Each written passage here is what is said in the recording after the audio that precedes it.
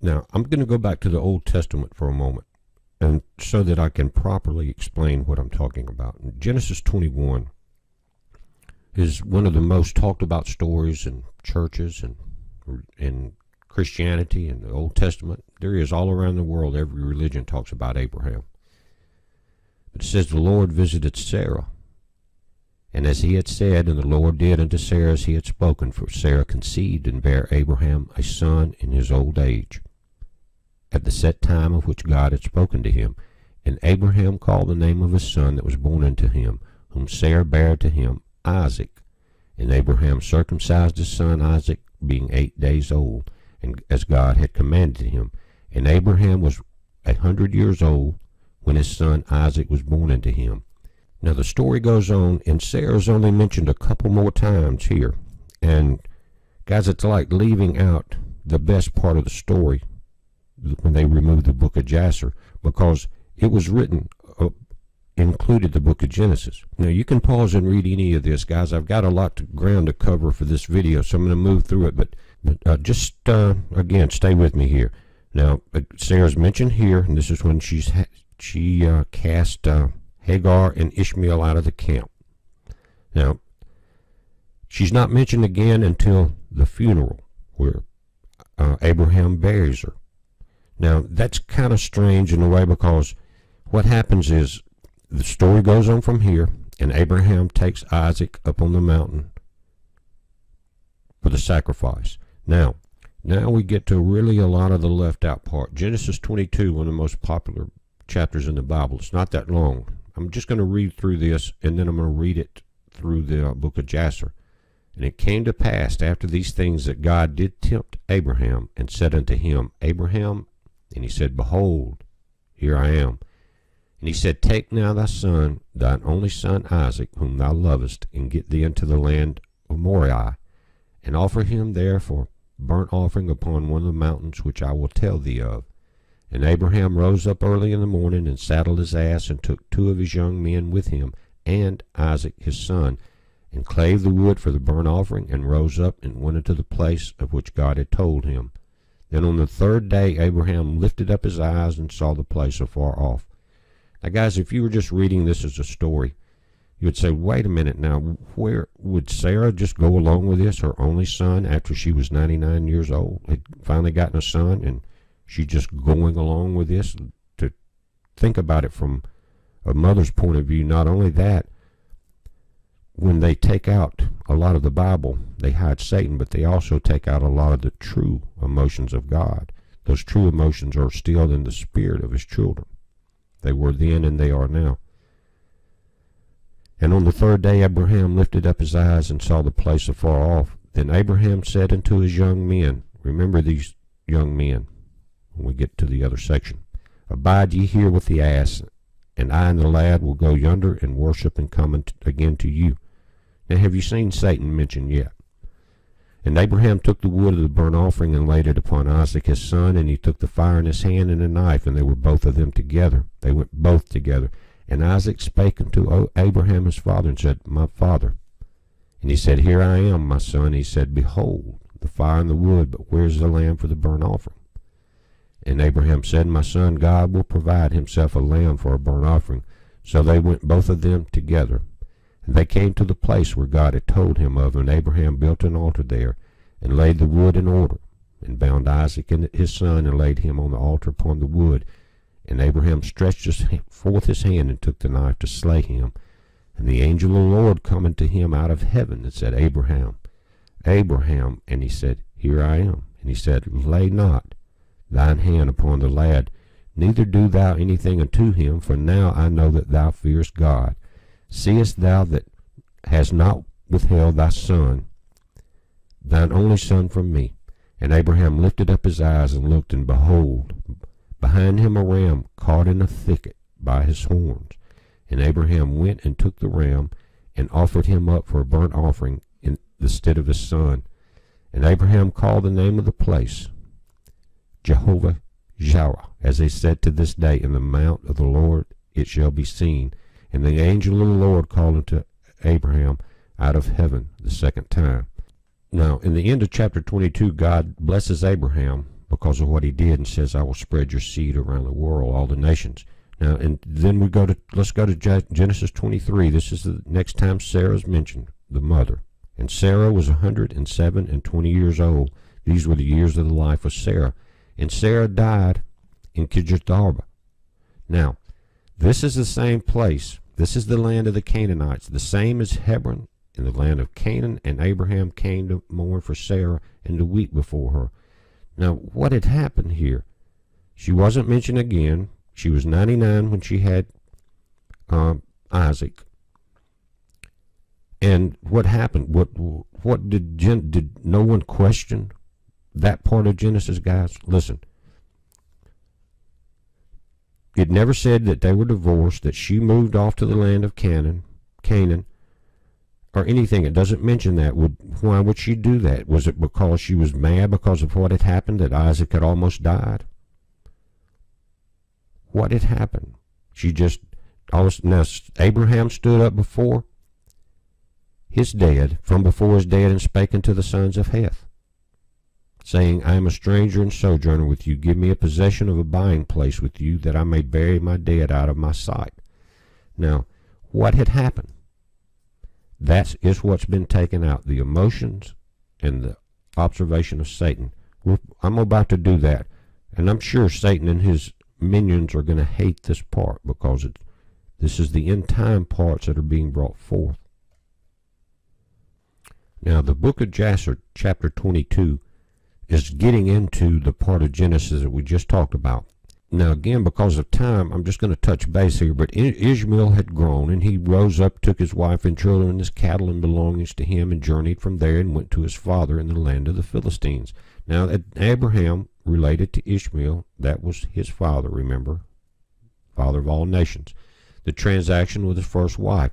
Now, these the days increased, and he reached 26 years. I, uh, Ishmael was 26 years old. Now, he was a little older than Isaac. Remember, he was born before. But uh, it talks about the quarreling and it goes on. Now, I'm going to kind of skip through this again because of time, and you can go, I will link this, and you can read it. Now, same chapter, I'm going to go to verse 40. And Isaac, the son of Abraham, was growing up in those days, and Abraham his father taught him the way of the Lord, to know the Lord, and the Lord was with him. He was with Isaac and Abraham. And when Isaac was thirty-seven years old, Ishmael his brother was going about with him in the tent, and Ishmael boasted of himself to Isaac. How old was Isaac, guys?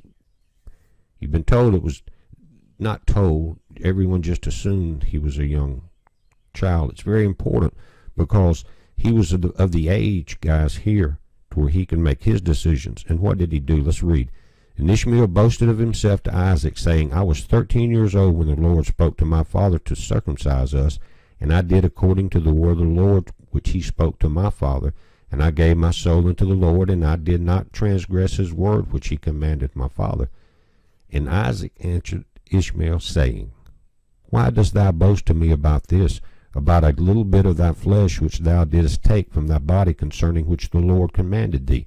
And as the Lord liveth, listen, this is Isaac, the God of my father Abraham, if the Lord shall say unto my father, Take now thy son Isaac, and bring him up an offering before me, I would not refrain, but I would joyfully accede to it.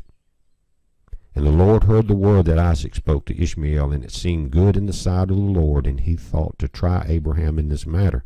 He had a little help. The days arrived when the sons of God came and placed themselves before the Lord. And Satan also came with the sons of God before the Lord. And the Lord said unto Satan, Whence comest thou? And Satan answered the Lord and said, From going to and fro in the earth, from walking up and down in it. And the Lord said to Satan, What is thy word to me concerning all the children of the earth? And Satan answered the Lord and said, I have seen all the children of the earth who serve thee, and remember thee when thou require anything from thee. And when thou givest them the thing which they require from thee, they sit at their ease, and forsake thee, and they remember thee no more. Hast thou seen Abraham the son of Terah, who at first had no children, and he served thee and erected altars to thee whenever wherever he came, and he brought up offerings upon them, and he proclaimed, proclaimed thy name continually to all the children of the earth. And now that his son Isaac is born to him, he has forsaken thee. He has made a great feast for all the inhabitants of the land, and the Lord he has forgotten. Abraham and Isaac had not forgotten God, but this is the great accuser, Satan. He still has his trolls running around.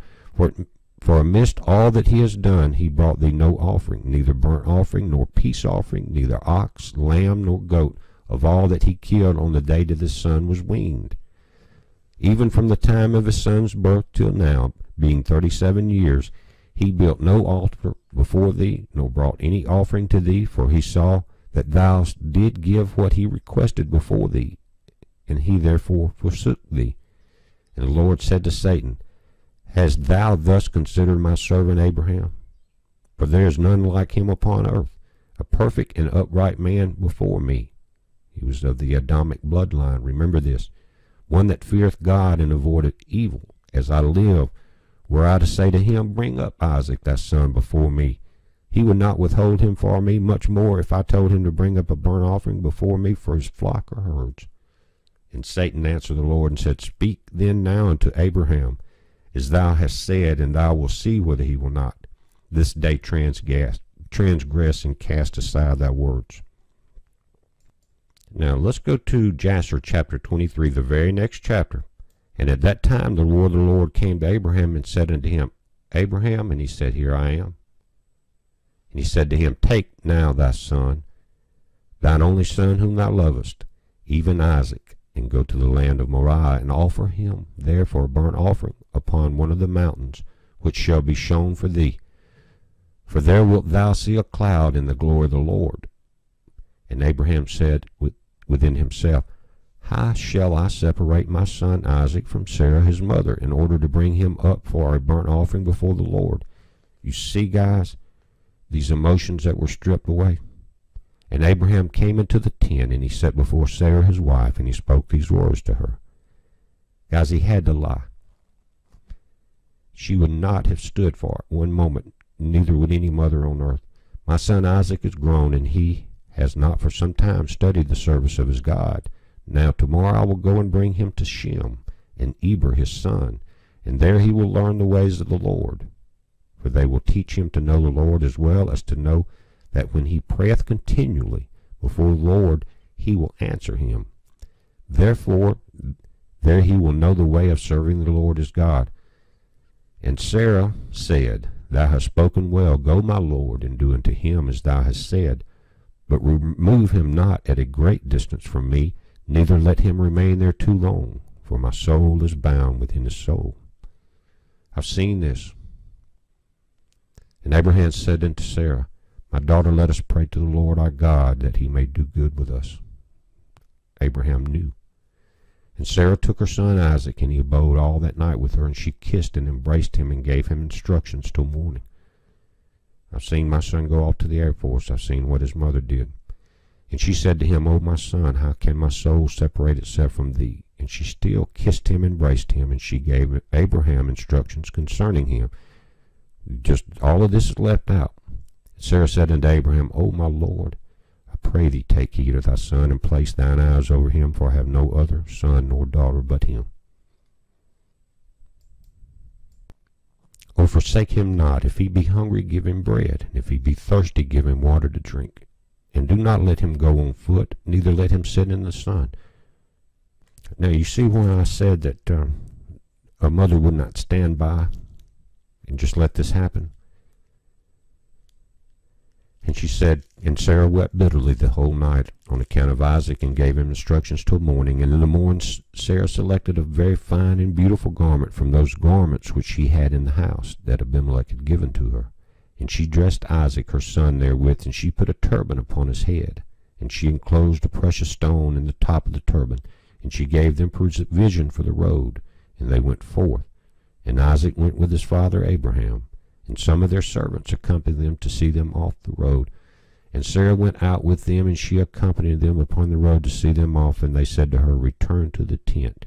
And when Sarah heard the words of her son Isaac, she wept bitterly, and Abraham her husband wept with her, and their son wept with them a great weeping, for those who went with them also wept greatly. And Sarah caught hold of her son Isaac, still hadn't let go, guys And she held him in her arms, and she embraced him, and continued to weep with him. And Sarah said, Who knoweth if after this day I will ever see thee again? And they still wept together, Abraham, Sarah, and Isaac. And all those that accompanied them on the road wept with them. And Sarah afterward turned away from her son, weeping bitterly. And all her men servants, maid servants returned with her to the tent. And Abraham went with Isaac his son to bring up an offering before the Lord, as he had commanded him. Now, at this point, Abraham's the only one that knows the full plan. Now, I told you to remember the two young men Abraham took with him. Said Abraham took two of his young men with him, Ishmael, the son of Hagar, and Eliezer his servant, and they went together with him. And whilst they were talking in the road, the young men spoke these words to themselves. And Ishmael said to Eliezer, Now my father Abraham is going with Isaac to bring him up for burnt offering to the Lord as he commanded him. Now, how did Ishmael know this? Now when he returneth, he will give unto me all that he possesses to inherit after him, for I am his firstborn. And Eliezer answered Ishmael and said, Surely Abraham did cast thee away with thy mother, and swear that thou shouldest not inherit anything of all his possesses. And to whom will he give all that he has, with all his treasures, but unto me his servant, whom has been faithful in this house, who has served him night and day, and has done all that he desired me. To me he will bequeath at his death all that he possesses. So you got Eliezer the servant and Ishmael arguing over who's going to get what. And whilst Abraham was proceeding with his son Isaac along the road, listen, this is why I came here.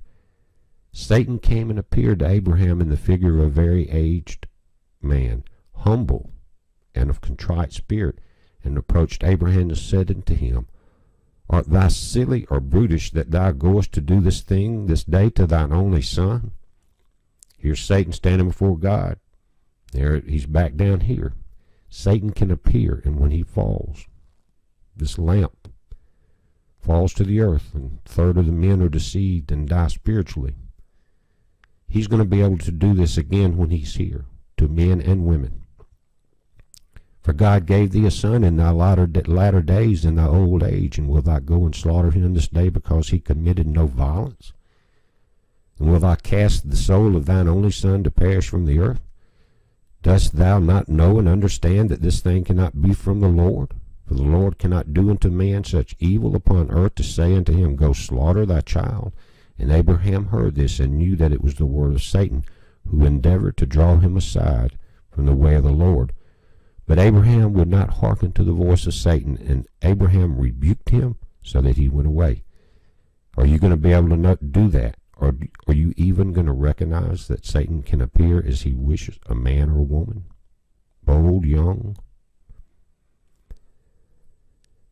And Satan returned and came to Isaac, and he appeared unto Isaac in the figure of a young man, comely and well favored, and appeared and he and he approached Isaac and said unto him, Dost thou not know and understand that thy old silly father bringeth thee to the slaughter this day for naught?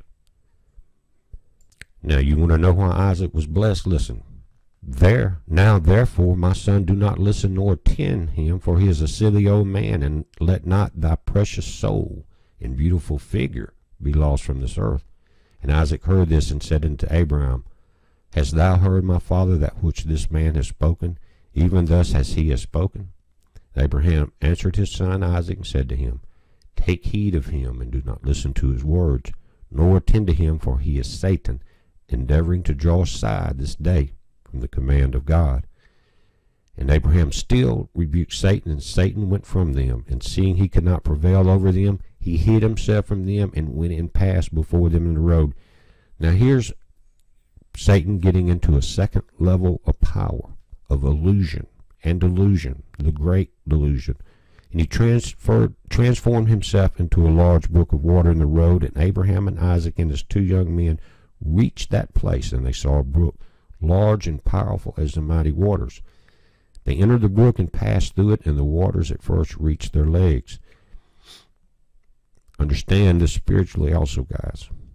And they went deeper in the brook the brook of Satan, and the waters reached up to their necks, and they were all terrified on account of the water. And whilst they were going over the brook, Abraham recognized that place, and he knew there was no water there before. And Abraham said to his son Isaac, I know this place in which there was no brook nor water. Now, therefore, is it is this Satan who does all this to us, to draw us aside from the day, from this day, from the commands of God. And Abraham rebuked him and said unto him, The Lord rebuke thee, O Satan, be gone from us, for we go by the commands of God. And Satan was terrified at the voice of Abraham. And he went away from them, and he, the place became dry land as it was at first. And Abraham went with Isaac toward the place that God had told him. And on the third day Abraham lifted up his eyes and saw the place at a distance which God had told him of. Now, guys, we're, we're into a whole new story right in the middle of a few verses of Genesis. And a pillar of fire appeared to him that reached from the heaven to earth, and a cloud of glory upon the mountain. And the glory of the Lord was seen in the cloud. And Abraham said to Isaac, My son, dost thou see in that mountain which we perceive at a distance? That which I see upon it? And Isaac answered and said unto his father, I see. And lo, a pillar of fire in a cloud, and the glory of the Lord is seen upon the cloud. And Abraham knew that his son Isaac was accepted before the Lord for a burnt offering. And Abraham said to Eliezer the servant and to Ishmael his son, Do you also see that which we see upon the mountain, which is at the distance? They answered and said, We see nothing more than like the other mountains of the earth. And Abraham knew that they were not accepted before the Lord to go with them. Guys, they did not have eyes to see. And Abraham said to them, Abide ye with the ass, while I and Isaac, my son, will go to yonder mount and worship there before the Lord, and then return to you. And Eliezer and Ishmael remained in that place, as Abraham had commanded. And Abraham took wood for a burnt offering, placed it upon his son Isaac, and he took the fire and the knife, and they both went to that place. Now Isaac was thirty-seven years old; he could handle the wood. And when they were going along, Isaac said to his father, Behold, I see here the fire and the wood, but where is the lamb that is to be the burnt offering before the Lord?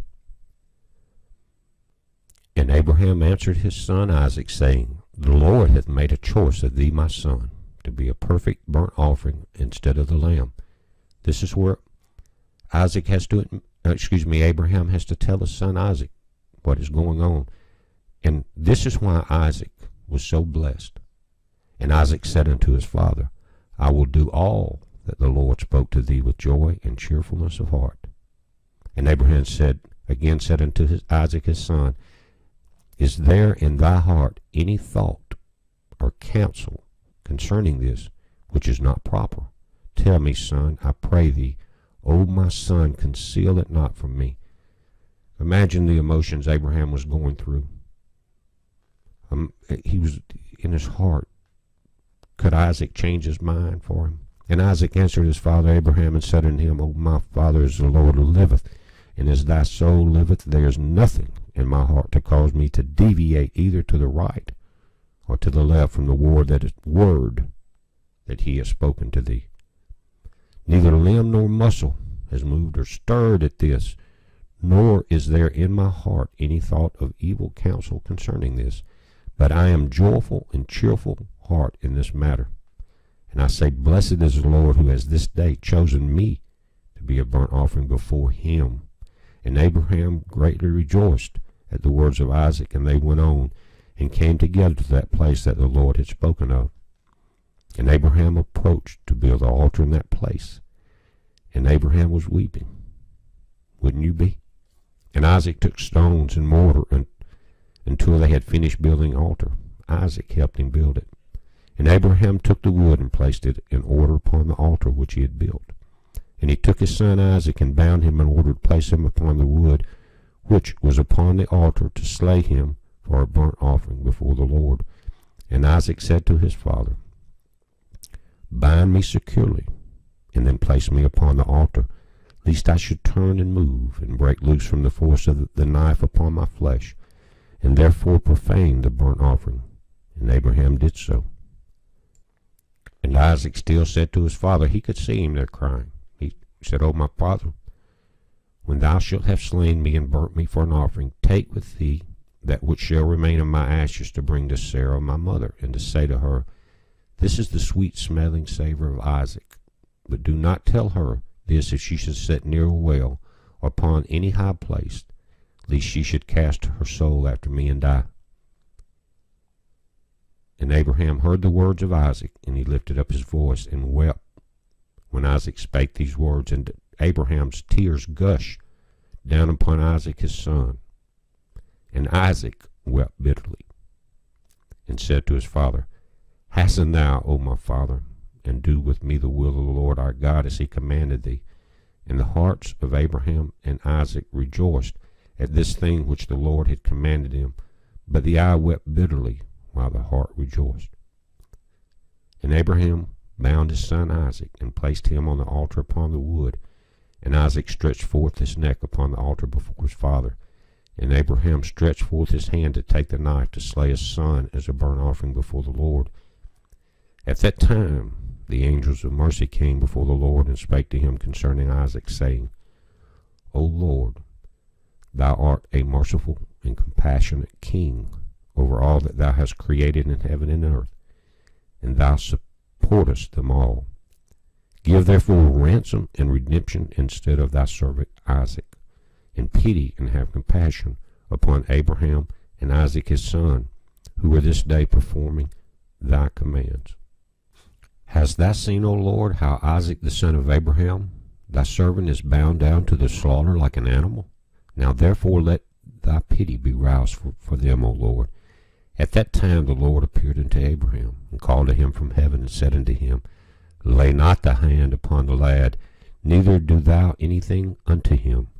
For now I know that thou fearest God in performing this act, and I am not and in not withholding thy son, thine only son, from me. And Abraham lifted up his eyes and saw, and behold, a ram was caught in the thicket by his horns. That was the ram which the Lord God had created in the earth in the day that he made earth and heaven. Are you listening? For the Lord had prepared this ram for that day to be a burnt offering instead of Isaac. And this ram, ram was advancing to Abraham when Satan caught hold of him and entangled his horns in the thicket that he might not advance to Abraham in order that Abraham might slay his son. You see how Satan operated then? This is how he's going to operate very shortly, my friends. And Abraham, seeing that the ram advancing to him and Satan withholding him, fetched him and brought him before the altar, and he loosed his son Isaac from his binding, and he put the ram in his stead. And Abraham killed the ram upon the altar and brought it up as an offering in the place of his son Isaac. And Abraham sprinkled the blood of the ram upon the altar. And he exclaimed and said, This is in the place of my son, and may this be considered this day as the blood of my son before the Lord. And all that Abraham did on this occasion by the altar, he would exclaim and say, This is in the room of my son, and may it this day be considered before the Lord in the place of my son. And Abraham finished the whole of the service by the altar, and the service was accepted before the Lord, and was accounted as if it had been Isaac. And the Lord blessed Abraham and his seed on that day. Now, what about the mother? And Satan went to Sarah, and appeared to her in the figure of an old man, very humble and meek. Are you listening? And Abraham was yet engaged in the burnt offering before the Lord. This was at that time it was going on. And he said unto her, Dost thou not know all the work that Abraham has made with thine only son this day? For he took Isaac and built an altar, and killed him, and brought him up as a sacrifice upon the altar. And Isaac cried and wept before his father, but he looked not at him, neither did he have compassion over him. What's the other MO of Satan? The lying, appearing is a very old man, humble and meek. And Satan repeated these words, and he went from away from her. And Sarah heard all the words of Satan, and she imagined him to be an old man from among the sons of men, whom had been with her son, and had come and told her these things. Here's a friend. And Sarah lifted up her voice and wept and cried out bitterly on account of her son. And she threw herself upon the ground, and she cast dust upon her head, and she said, O my son Isaac, Isaac, my son, O thou I had this day died instead of thee. And that she continued to weep, and said, It grieves me for thee, O my son, my son Isaac. Oh, that I had died this day in thy stead. You see what was left out? The emotions and how Satan works. So Satan, he couldn't get Isaac to murder his son. So he's going to attack Sarah, his wife. And she still continued to weep and said, It grieves me for thee. After that I have reared thee and have brought thee up. Now my joy is turned unto mourning over thee. I that had a longing for thee, and cried and prayed to God till I bare thee at ninety years old. And now thou hast thou served this day for the knife and the fire to be made an offering. But I console myself with thee, my son, in its being the word of the Lord. For thou did perform the command of thy God, for who can transgress the word of our God? In whose hands is the soul of every living creature? Thou art just, O Lord, our God, for all thy works are good and righteous. For I also am rejoiced within thy word, which thou didst command, and whilst mine eye weepeth bitterly, my heart rejoiceth. Satan defeated again, spiritually. And Sarah laid her head upon the bosom of one of her handmaids, and she became as still as stone. She afterward rose up and went about making inquiries till she came to Hebron. Now she now here's to the part where I said, What did they do? Get a divorce and she just move off? No. She came to Hebron she inquired of all those whom she met walking in the road, and no one could tell her what had happened to her son. She thought at this time she was looking for his body. And she came with her maidservants and men servants to Kiriatharba, which is Hebron. And she asked concerning her son. And she remained there while she sent some of her servants to seek where Abraham had gone with Isaac. They went to seek him in the house of Shem and Eber, and they could not find him. And they sought throughout the land, and he was not there. And behold, what? Satan came to Sarah in the shape of an old man, and he came and stood before her. And he stood, and he said unto her, I spoke falsely unto thee, for Abraham did not kill his son, and he is not dead. And when she heard the word, her joy was so exceedingly violent on account of her son that her soul went out through joy, and she died and was gathered to a people. She was overjoyed. She, she was weak. She had been traveling. She was emotionally a wreck. When she heard this, she jumped with joy, and it killed her, the stress. And when Abraham had finished his service, he returned with his son Isaac to, young, to his young men, and they rose up and went together to Beersheba, and they came home. And Abraham sought for Sarah and could not find her. And he made inquiries concerning her. They said unto him, She went as far as Hebron to seek you both where you had gone, for thus was she informed. Talk about Romeo and Juliet, guys. And that's why Abraham had to go there, find his wife and buried her. She hadn't divorced him. She was searching for him and her son while Satan played with their lives. That's what he's going to do when he comes back. He's almost here. Guys, don't say you haven't had a uh, hour of church today with the word of the Lord. Heads up, be safe.